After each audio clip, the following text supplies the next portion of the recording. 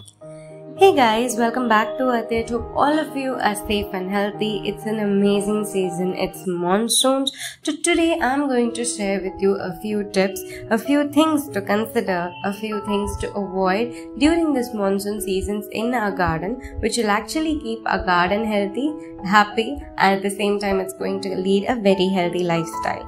So the first and foremost step is to clear off the top layer of soil. Why? The top layer of soil, if we have any dried leaves, dried twigs, cocoa peat, coconut husk, or whatever we had done in the previous season to retain the moisture, we need to remove that off right now and make sure that area is clean and dry.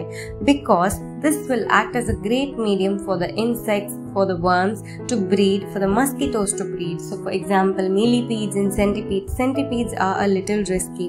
So, if they start breeding in our pots, it's going to be a little tough for us to work in that pot or work in that garden. So, make sure that there are no such elements provided in that particular place. Next sign your plant is going to show you is the yellowing of leaves which means the plant is getting a lot of water or the plant is not getting good amount of water and if you notice these types of earthworms moving out of the pot it means that you need to check the soil of that particular pot.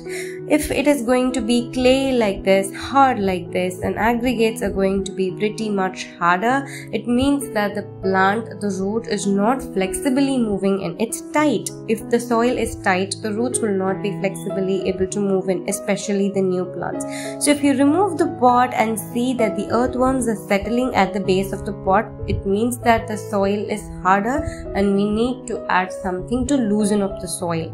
It's not just about the plant right now, but considering our health and our safety, we need to elevate the height of the pots right now because this will act as a great hiding space for centipedes, millipedes and earthworms too.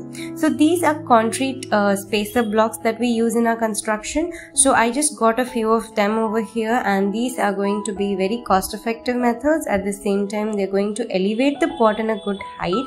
So this way this if you're planning to clean that area, if you're going to wash it with water, this wouldn't have any types of insects or worms settle at the base and there wouldn't be any hiding place for them. So this is going to be one important important safety factor if you're planning to place your pots anywhere in your balconies or in your terrace or even in your ground floors.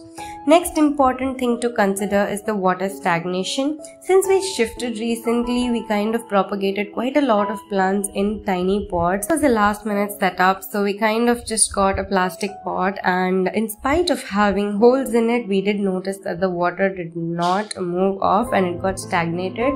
So this will also lead to the breeding of mosquitoes. So make sure that your pots are pretty much clean and dry. Next thing is to check the health of the soil or the condition of the soil and the health of the plants. If they're showing good growth and if they're not rotting or drying it means that the soil is doing pretty much good. And rainy season is a magical season where you will find tremendous growth, new propagation, new germination. So all of these are henna plants. I just popped out one particular uh, branch of that seedling and i could see quite a lot of plants developing here. So if you're planning to grow any type of uh, plants in this particular season go ahead because this is a magical season and almost all your plants are going to grow extremely well. Next thing again is to notice for the diseases in the plant leaves. So make sure to chop them off or to clear or trim them off. Then and and there because else it will start spreading very badly.